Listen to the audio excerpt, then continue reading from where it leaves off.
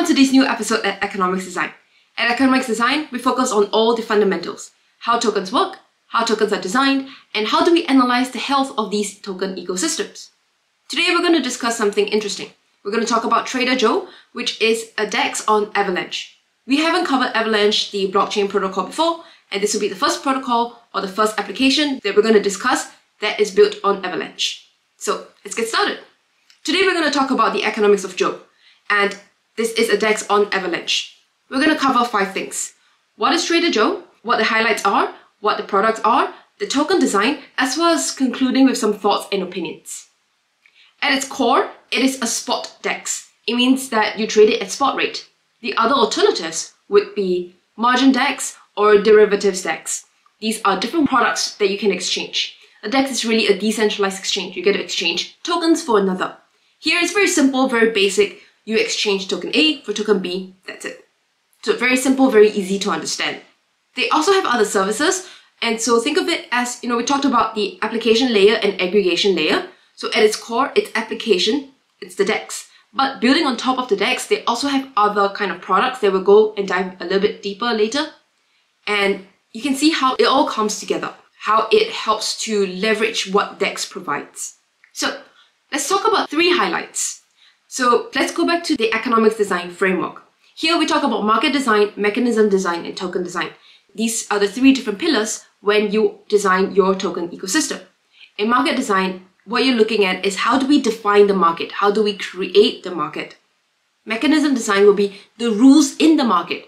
When people come to trade, which is a market, they need to abide by some rules. And these rules are not subjective to people. Everyone who comes into the market have to abide by these rules. So what are the rules?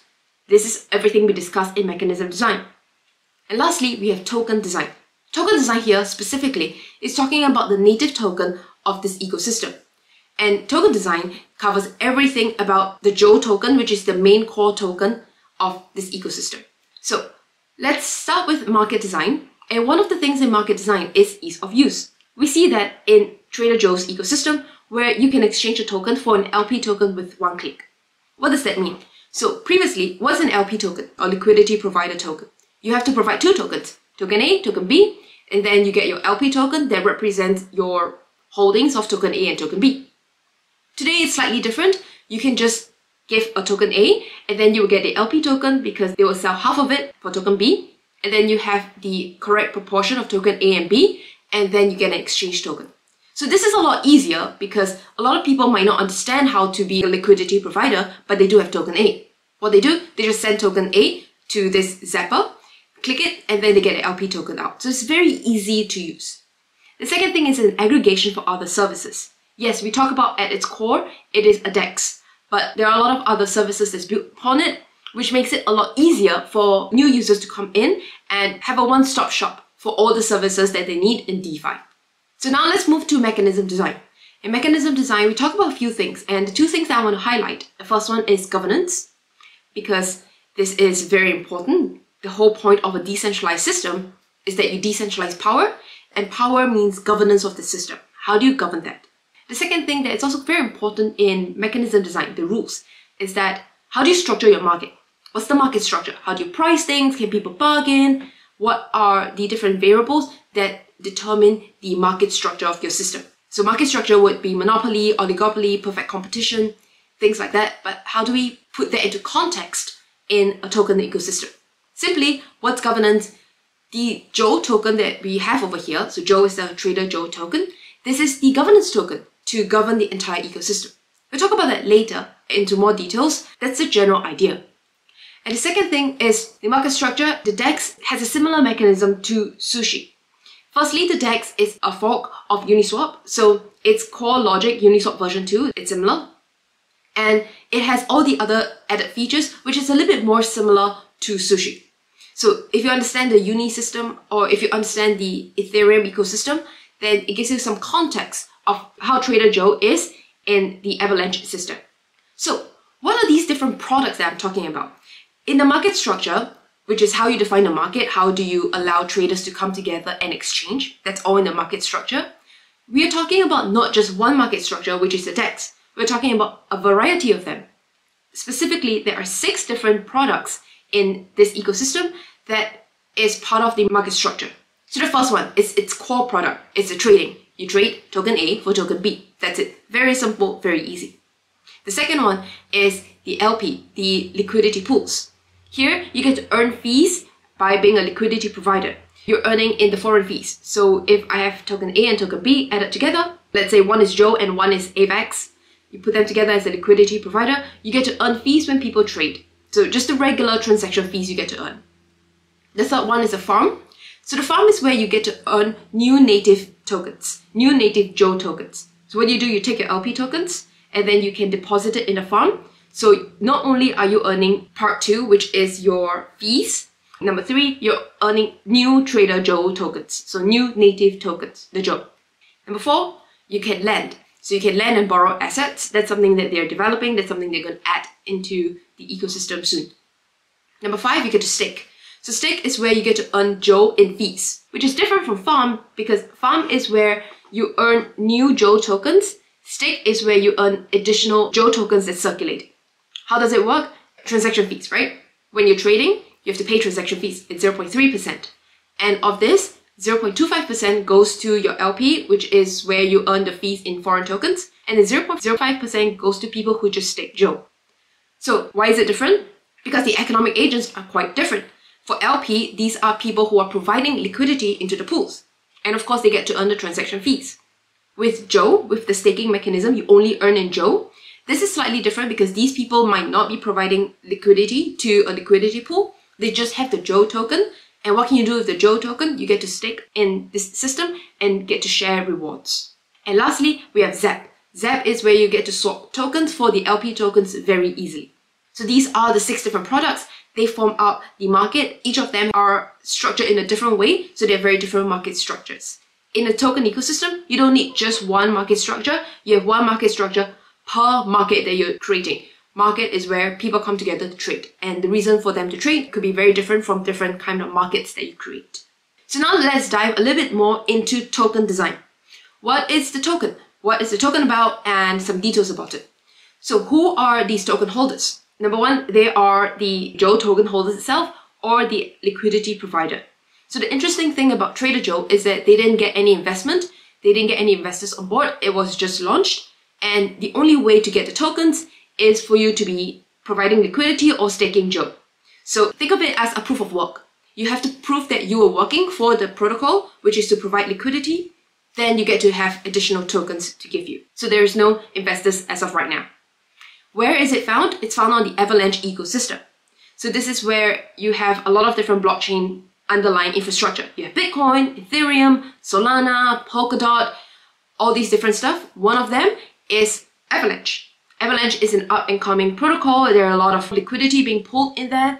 There is a lot of value being locked and it's growing quite tremendously. So Trader Joe is helping to facilitate that growth in the Avalanche ecosystem.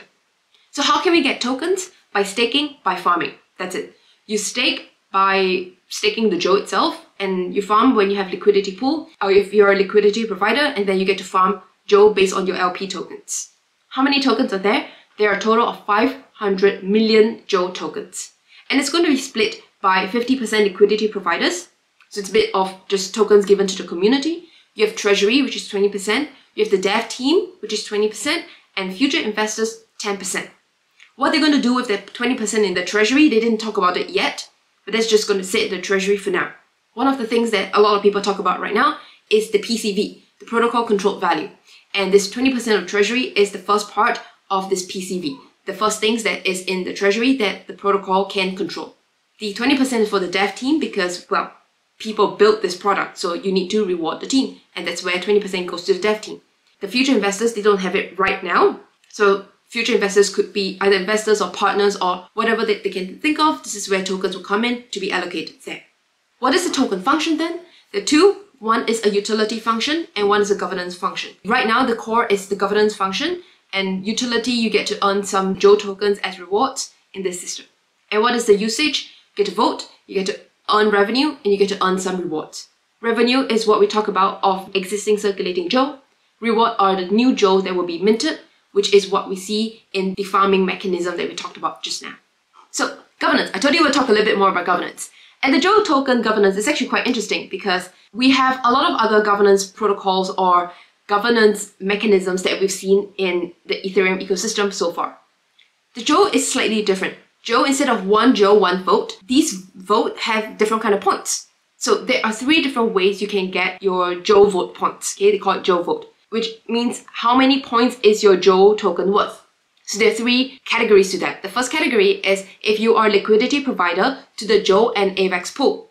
That means you put Joe and AVAX together into the liquidity pool and you get your liquidity pool token out, your LP token out. If you have that, when you vote, your vote is worth two points. The other options is where you're staking Joe so remember I told you you can get Joe, you stake Joe and you earn Joe. If you stake Joe, what you get is the X Joe. And this X Joe is worth one point. And lastly, if you have you just have Joe token, you don't know what to do with it, you don't want to stake, you don't want to provide liquidity, you, you don't want to do any farming, you just want to hold the Joe token, that's also fine. That gives you one point. So this is how they prioritize who these economic agents are by giving them more points to make changes to the ecosystem. If you're going to be a bit more passive and you're just holding the token or just staking it, you get one point. If you're a bit more active, you are providing liquidity, you are doing a lot more stuff, then you get two points.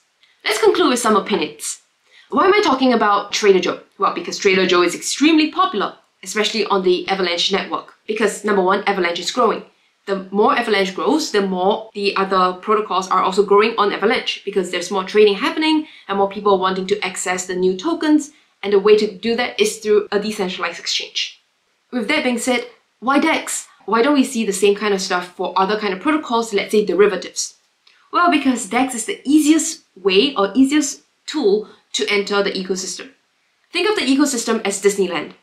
And you need to exchange your US dollars or whatever currency that you have into Disneyland tickets and go and play the game. The DEX is kind of like the cashier that takes your currency and exchange it for your Disneyland tickets. This Disneyland tickets is the tickets to enter the Avalanche ecosystem. So DEXs are very, very important, especially for new growing ecosystems. And that's why we see a lot of these new blockchain protocols. One of the first things that they do is always to create an exchange. That is the easiest way for people to come into the ecosystem. So you can see that the, the total value locked and the trading volume is increasing in this Trader Joe protocol. And of course, it's also so popular because it's extremely easy to use. I mentioned that if you have token A and you want to be part of this liquidity provider, you don't know how, you just do a quick swap, put token A in, you say what kind of tokens or what kind of liquidity you want to provide, and then you just get your LP tokens out. So it's very easy for people to use. You don't have to be crypto native, you don't have to understand cryptography or you don't, don't have to understand too much information. It's very easy and very simple to use. The second thing is that liquidity is king. In a DEX, or in, in any company or any protocol, any business, there's always one core thing that you need to succeed very well in, and then everything else is a lot easier. In a DEX, that's liquidity. If you don't have liquidity, then you're not going to survive. If you don't have liquidity, then nobody's going to trade with you. You're going to have very high price volatility, there's going to be high price slippage, and nobody really wants to use your product. So liquidity is the most important thing when it comes to DEX. And we can see that very obviously in the kind of economic policies, token incentives, the incentive mechanisms that they have.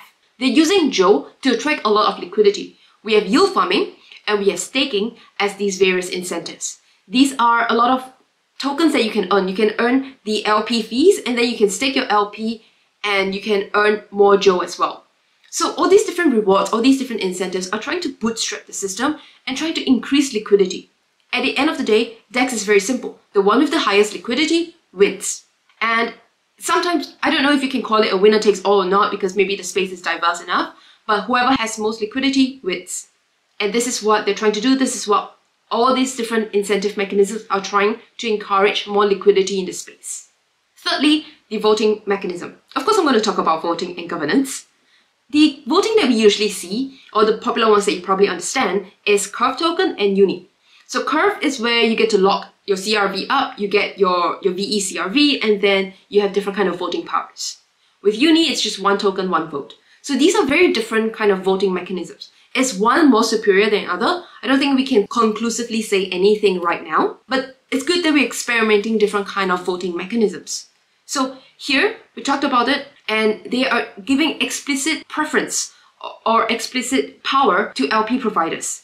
So LP providers, as I mentioned, are a different category of economic agent than just people who are holding Joe. People who are holding Joe, they're not taking any risks. They're just holding it, staking it, and then hoping prices go up. So they're not doing anything really, really beneficial to the core of this product, of this ecosystem. And so they get one voting point. Whereas LP token holders, they are doing something good. They're providing liquidity. As I mentioned, liquidity is key to survival of DEXs. And so they want to give more priorities to LP token holders. They increase the voting power of these LP token holders, also because they have more at stake. So this is something that is quite interesting and it obviously incentivizes or prefers LP token holders. Hence, you can see a lot more tokens being locked in the entire mechanism because the incentive is all aligned towards that. Whatever that we see is really an outcome of this incentive that is being done in the Trader Joe protocol. And number four is that there is no token sale.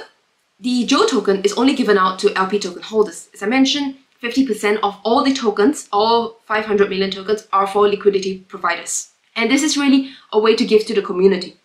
And if you're talking about decentralization, this is the best way of decentralization because you're rewarding people who are part of your ecosystem, who are helping you to grow your ecosystem. They don't have any investors, but they do have 10% allocation to any potential investors in the near future. And for Treasury and for the team, there's a three months lockup period, and then it will be released periodically. So that is the whole token structure. And if you think about it, you have three months where there's no new additional tokens being released, only the LP tokens. And so it becomes very attractive for people to want to come in and get the Joe tokens because that's the only way to get the Joe tokens. Hence, all these different incentives, all these different mechanisms all come together to increase the liquidity, to increase the total value locked, and hence we see a huge growth in this Trader Joe's protocol. And that's why we see a big boom. So that's it for today. Thank you very much for staying throughout the end. I'll see you in the next episode. Bye! Thank you so much for staying throughout this entire video. If you're interested to learn more and you want to join the community, do check out our Discord, check out our Academy, and you get to watch these videos for free as well, without any ads. And also grab the book that I've talked about earlier on. The book summarizes a lot of what we're trying to build, what we're trying to design, and the different aspects that can be changed during the entire design process.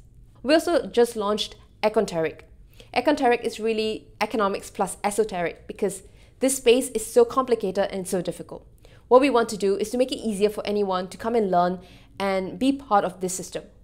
So in Econteric, we are breaking down the different analytics and different data to give you more insights to understand the robustness from a very fundamental level of the health of this ecosystem. So check out econteric.com and I'll see you there. Bye!